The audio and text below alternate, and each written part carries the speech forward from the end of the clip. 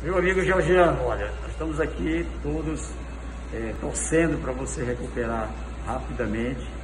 É, como você começou o tratamento precoce, eu que acompanho aqui, é tranquilo. Você vai ver que esse cuidado que você teve, é apenas um vírus a mais, uma gripe como outras que a gente pegou. E você com isso também vai ser um bom exemplo, um exemplo de alguém disciplinado que cumpriu direitinho a regra. Muito em breve vamos nos encontrar, vou lhe dar o meu abraço e você ser esse grande vitorioso que você é.